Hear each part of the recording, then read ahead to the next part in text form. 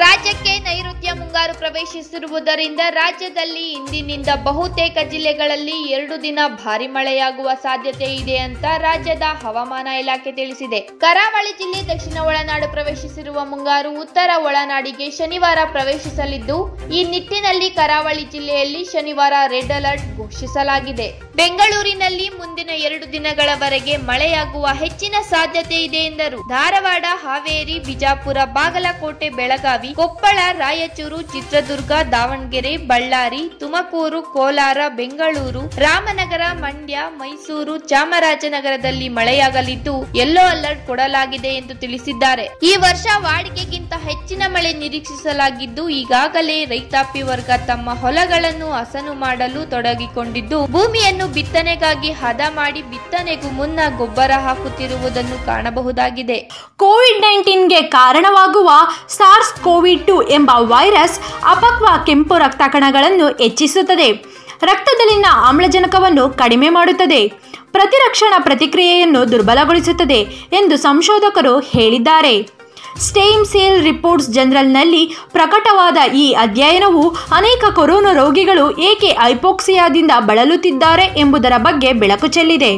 ರಕ್ತದಲ್ಲಿ ಆಮ್ಲಜನಕ ಮಟ್ಟವು ಕಡಿಮೆಯಾಗುವುದು ಕೊರೋನಾ ರೋಗಿಗಳಲ್ಲಿ ಗಮನಾರ್ಹ ಸಮಸ್ಯೆಯಾಗಿದೆ ಎಂದು ಕೆನಡಾದ ಆಲ್ಬರ್ಟ್ ವಿಶ್ವವಿದ್ಯಾಲಯದ ಔಷಧ ಮತ್ತು ದಂತ ವೈದ್ಯಕೀಯ ವಿಭಾಗದ ಸಹಾಯಕ ಪ್ರಾಧ್ಯಾಪಕ ಶೋಕ್ರಾಲಾ ಎಲಾಹಿ ಹೇಳಿದ್ದಾರೆ. ಕೆಂಪು ರಕ್ತ ಕಣಗಳ ಉತ್ಪಾದನೆಯ ಮೇಲೆ ವೈರಸ್ ಪರಿಣಾಮ ಬೀರಬಹುದು ಎಂದು ನಾವು ಭಾವಿಸಿದ್ದೇವೆ ಎಂದವರು ಹೇಳಿದ್ದಾರೆ. ಅಧ್ಯಯನಕ್ಕಾಗಿ ನೂರ ಇಪ್ಪತ್ತೆಂಟು ರೋಗಿಗಳ ರಕ್ತವನ್ನು ಪರೀಕ್ಷಿಸಲಾಗಿದೆ.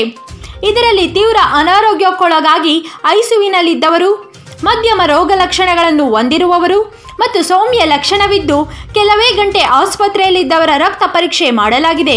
ತೀವ್ರ ಅನಾರೋಗ್ಯಕ್ಕೊಳಗಾದ ರೋಗಿಯಲ್ಲಿ ಹೆಚ್ಚು ಅಪಕ್ಯವಾದ ಕೆಂಪು ರಕ್ತ ಕಣಗಳು ರಕ್ತ ಪರಿಚಲನೆಗೆ ಸಿಲುಕಿದವು.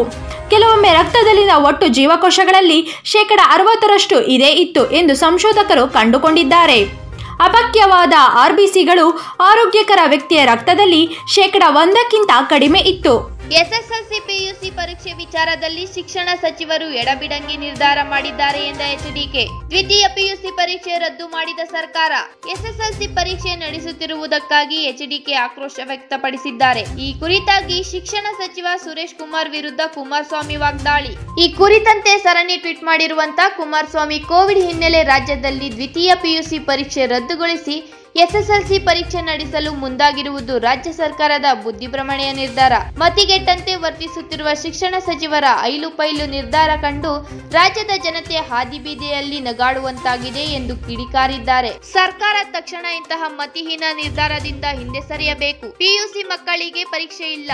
ಎಸ್ಎಸ್ಎಲ್ಸಿ ಮಕ್ಕಳಿಗೆ ಸೀಮಿತ ವಿಷಯಗಳ ಪರೀಕ್ಷೆ ಎಂಬ ಮೊಂಡುತನವನ್ನು ಸರ್ಕಾರ ಕೈಬಿಡಬೇಕು ಎಂದು ಎಚ್ಡಿಕೆ ಆಗ್ರಹಿಸಿದ್ದಾರೆ. ಮಕ್ಕಳ ಜೀವದೊಂದಿಗೆ ಚೆಲ್ಲಾಟ ಆಡುವುದನ್ನು ಬಿಟ್ಟು ಶಿಕ್ಷಣ ಸಚಿವರು ಎಡಬಿಡಂಗಿ ನಿರ್ಧಾರ ತೆಗೆದುಕೊಂಡಿರುವುದಕ್ಕೆ ಮುಖ್ಯಮಂತ್ರಿಗಳು ಕಡಿವಾಣ ಹಾಕಬೇಕು. ಎಸ್ಎಸ್ಎಲ್ಸಿ ಮತ್ತು ಪಿಯುಸಿ ಮಕ್ಕಳಿಗೆ ಏಕರೂಪ ಪರೀಕ್ಷೆ ಪದ್ಧತಿಯನ್ನು ಜಾರಿಗೆ ತರಬೇಕು. ಪಿಯುಸಿ ಮಕ್ಕಳಿಗೆ ಪರೀಕ್ಷೆ ಇಲ್ಲ ಎಂತಾದರೆ ಅದು ಅವರಿಗಿಂತ ಕಿರಿಯರಾದ ಎಸ್ಎಸ್ಎಲ್ಸಿ ವಿದ್ಯಾರ್ಥಿಗಳಿಗೂ ಅನ್ವಯಿಸಬೇಕು ಎಂದು ಅಭಿಪ್ರಾಯಪಟ್ಟಿದ್ದಾರೆ. ಕೋವಿಡ್ ಪಿಡುಗು ನಿರ್ವಹಣೆಗೆ ಕೇಂದ್ರ ಸರ್ಕಾರ ಅನುಸರಿಸುತ್ತಿರುವ ಕ್ರಮವನ್ನು ಟೀಕಿಸಿರುವ ಕಾಂಗ್ರೆಸ್ ನಾಯಕ ರಾಹುಲ್ ಗಾಂಧಿ. ಬಿಜೆಪಿ ಸರ್ಕಾರದ ನಿರ್ದಯತೆ ಮತ್ತು ಕೋವಿಡ್ನಿಂದ ವೈದ್ಯರನ್ನು ರಕ್ಷಿಸಬೇಕಾಗಿದೆ ಎಂದು ಮನವಿ ಮಾಡಿದ್ದಾರೆ. ಕೋವಿಡ್ ನೈನ್ಟೀನ್ ರೋಗ ಹರಡುವಿಕೆಯ ತಪಾಸಣೆ ಮತ್ತು ಲಸಿಕಾ ಅಭಿಯಾನದಲ್ಲಿ ಸರ್ಕಾರ ಅನುಸರಿಸುತ್ತಿರುವ ನೀತಿಗಳನ್ನು ರಾಹುಲ್ ಗಾಂಧಿ ಟ್ವಿಟರ್ನಲ್ಲಿ ಟೀಕಿಸಿದ್ದಾರೆ. ವೈದ್ಯರಿಗೆ ಕೊರೋನಾ ವೈರಸ್ ಮತ್ತು ಬಿಜೆಪಿ ಸರ್ಕಾರದ ನಿರ್ದಯತೆಯಿಂದ ರಕ್ಷಣೆ ಬೇಕು. ಸಂರಕ್ಷಕರನ್ನು ಉಳಿಸಿ ಎಂದು ಅವರು ಟ್ವೀಟ್ ಮಾಡಿದ್ದಾರೆ. ಕೋವಿಡ್ ಲಸಿಕೆಗಳ ಬಗ್ಗೆ ಎಲ್ಲ ರಾಜ್ಯಗಳು ಒಮ್ಮತದ ಧ್ವನಿಯಲ್ಲಿ ಮಾತನಾಡುವಂತೆ ಮನವಿ ಮಾಡಿರುವ ಆಂಧ್ರಪ್ರದೇಶದ ಮುಖ್ಯಮಂತ್ರಿ ವೈಎಸ್ ಜಗನ್ಮೋಹನ್ ರೆಡ್ಡಿ ಅವರ ವಿರುದ್ಧ ಕಾಂಗ್ರೆಸ್ ನಾಯಕ ಜಯರಾಮ್ ರಮೇಶ್ ವಾಗ್ದಾಳಿ ಮಾಡಿದ್ದಾರೆ. ಲಸಿಕೆ ಸಮಸ್ಯೆಯನ್ನು ಕೇಂದ್ರ ವರ್ಸಸ್ ರಾಜ್ಯಗಳು ಎಂದು ಮಾಡಿದವರು ಯಾರು?